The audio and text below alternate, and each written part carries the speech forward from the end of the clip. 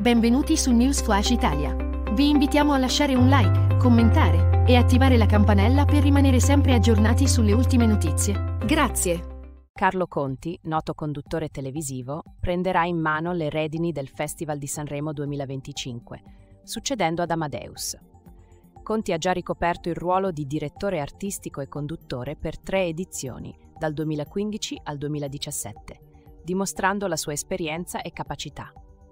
Oltre a questo prestigioso incarico, a partire dal 20 settembre 2024 lo vedremo alla guida di tale e quale show su Rai 1. Il conduttore toscano è sposato con Francesca Vaccaro, dalla quale ha avuto un figlio nel 2014 Matteo, che ha attualmente 10 anni e assomiglia molto al padre. La coppia ha affrontato alti e bassi nella loro relazione, ma alla fine sono riusciti a formare una famiglia unita, arricchita dalla nascita di Matteo.